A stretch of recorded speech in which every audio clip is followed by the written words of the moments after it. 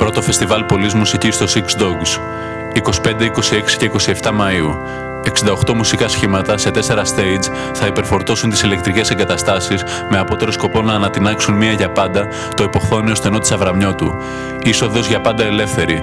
Οι πόρτες ανοίγουν στις 6 το απόγευμα και κλείνουν στις 6 το πρωί.